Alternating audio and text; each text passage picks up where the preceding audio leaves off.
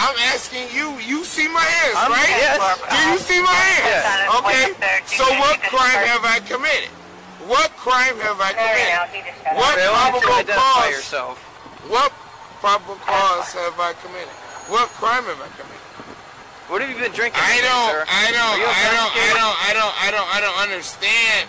I don't understand or understand your your laws or regulations. So, so uh, uh, uh, uh,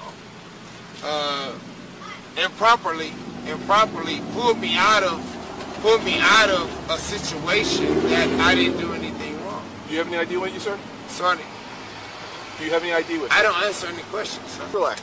Just But I relax. didn't do anything wrong. Sir, sir, right now they're just So figuring I this just out. want to let you know. I want to know. Everything's on camera. Can Take I, it easy. okay, so so so you guys are going to be on camera for for improperly improperly.